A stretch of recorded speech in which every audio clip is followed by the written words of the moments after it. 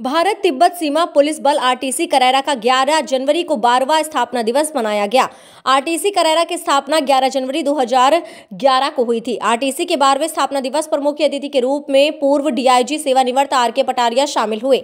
पटारिया ने अपने उद्बोधन में कहा कि हिमवीरों का सबसे अच्छा रिक्रूट ट्रेनिंग सेंटर करेरा है। करेरा को आईटीबीपी ने ही पहचान दी है, जिससे पूरे देश में नाम है।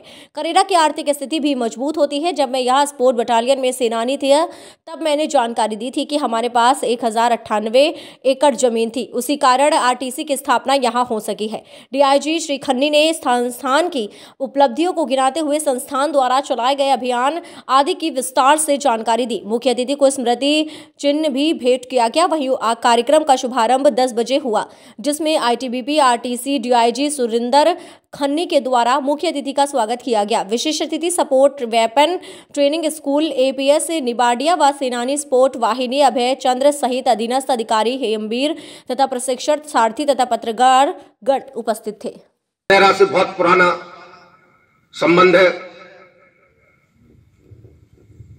जब जो लगभग आईटीबीपी उन्नीस में रेज हुई, उसके बाद लगभग चौसठ या पैंसठ में करेरा में नौगांव से शिफ्ट हो गई थी। और तब से अभी तक यहाँ पर अभी तीन संस्थान काम कर रहे हैं। करेरा के विकास में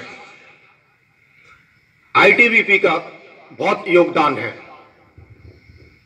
एक तो देश में पहचान दी है, दूसरा यहाँ पे हज़ारों लोग रह रहे हैं, जो करेरा की इकोनॉमी उससे बढ़ती है। करेरा का विकास के लिए आईटीबीपी एक प्रमुख संस्थान है। आरटीसी के कारण, एसपीटी के कारण, एसडब्ल्यूटीएस के कारण, करेरा और आसपास के क्षेत्रों के बहुत से लोग आईटीबीपी में भर्ती हुए, आज से नहीं, पहले से, चौसठ पैंसठ से। और बहुत से लोग रिटायर्ड होके यहाँ सेटल्ड भी हो गए हैं।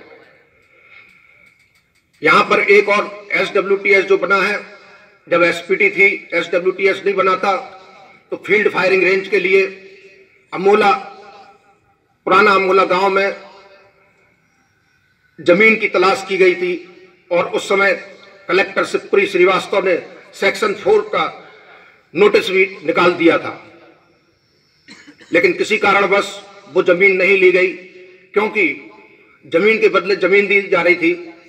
निकालने की परंपरा आरंभ हुई। श्री भवर सिंह उप महारीक्षक के कुशल नेतृत्व में आरटीसी करेरा को दो बार 2018 एवं 2020 में बल बल के सर्वश्रेष्ठ प्रशिक्षण केंद्र के रूप में चुना गया। यही नहीं, इसके साथ ही इस प्रशिक्षण संस्थान को आईएसओ 9001 द्वारा भी प्रमाणित किया गया है।